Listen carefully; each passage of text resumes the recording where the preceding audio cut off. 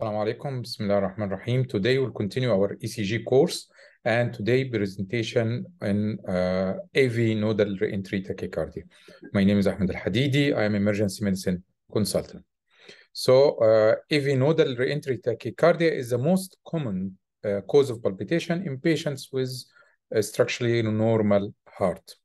Uh, it's caused by functional re-entry circuit in the AV node itself. So uh, it happens typically paroxysmal, uh, maybe uh, provoked and maybe spontaneously uh, onset. Uh, as we said, it's uh, re-entry functional re-entry circuit. So there is two functional pathways within the AV node.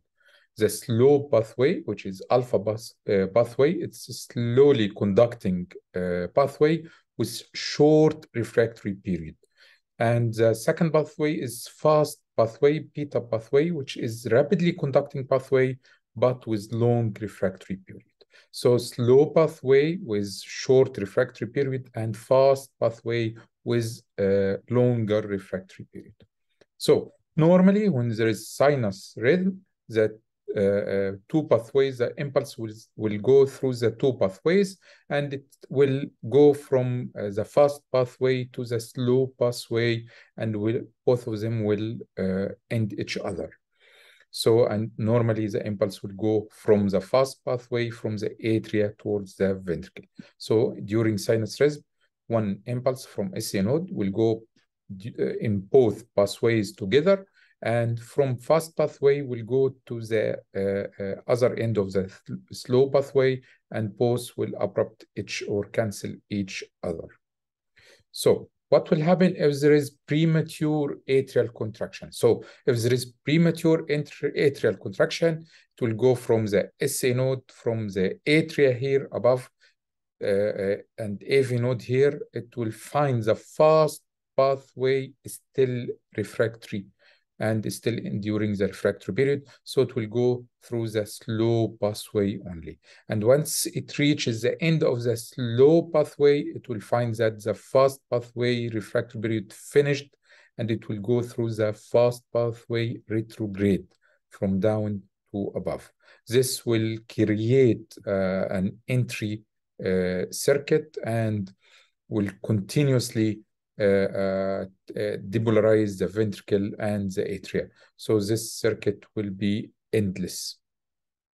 Cyclic movement of the impulse from one impulse uh, through the slow pathway from the atria to the ventricle, antegrade and fast pathway retrograde. This is called slow, fast AV nodal reentry. So antegrade from above downward through the slow pathway and retrograde through the fast pathway.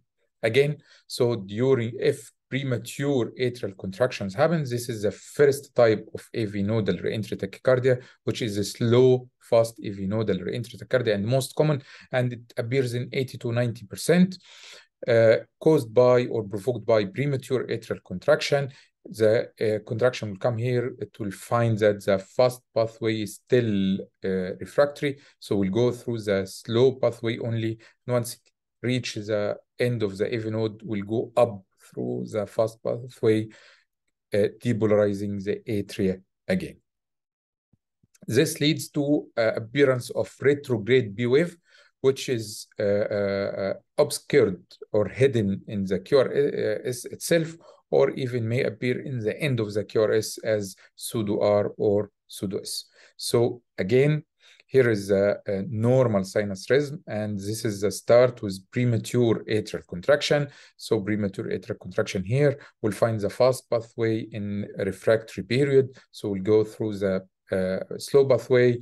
Once it reaches the refractory period finished, so it will go up during the uh, uh, or through the fast pathway creating a re-entry circuit. So one premature atrial contraction started the AV nodal re-entry uh, uh, uh, supraventricular tachycardia. So ECG criteria for a, slow pathway,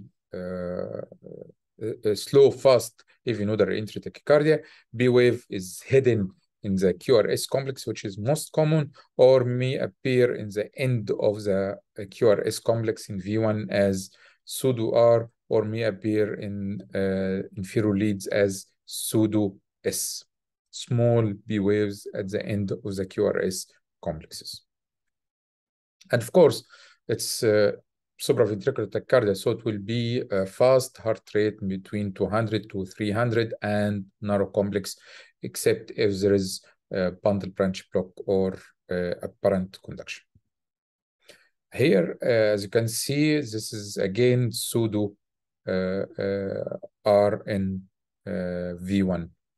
at the end, the P wave appears as pseudo R wave in V1 here, appear as pseudo R wave in V1 after the end of the QRS complex.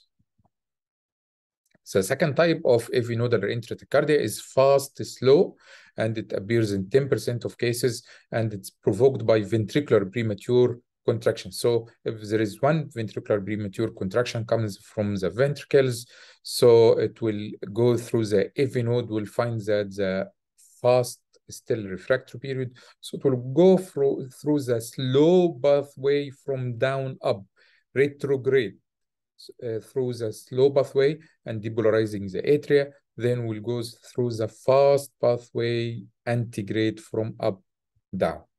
This will uh, lead to retrograde P wave, which usually visible after the QRS before the T wave.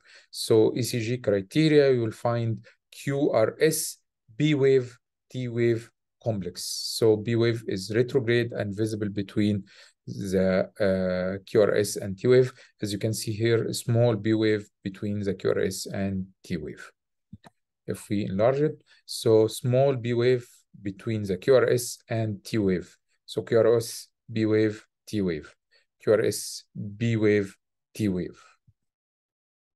As a management for AV nodal reentry tachycardia, we will start with vagal maneuvers like putting ice over uh, the face or carotid massage, uh, although there is a risk of uh, carotid thrombus or carotid embolism, dislodgement, and also Valsalva maneuver. All of these are vagal maneuvers. Second and first main uh, line uh, treatment is adenosine. Adenosine is a one disease drug. It's used only for uh, treatment of SVT, uh, uh, supraventricular tachycardia. Side effect it can cause chest pain, bronchospasm, hypotension, and of course facial flushing and may be seizures. Contraindicated in bronchial asthma patient and patient with sick sinus syndrome or heart block. Uh, its mechanism of action, it causes uh, uh, AV nodal uh, blocking for seconds, only seconds. And half-life for adenosine is very short, around 30 seconds. So you have to put antecubital fossa cannulation. It should be cannula 18 or above and put three-way as we can uh, see here, put three-way one uh, uh, syringe with adenosine and the other syringe with saline uh, flush. And of course, we'll inform the patient that he will give him medication and for seconds he will feel as if his heart stopped or he will feel uh, the side effect of the adenosine for seconds and it will improve immediately.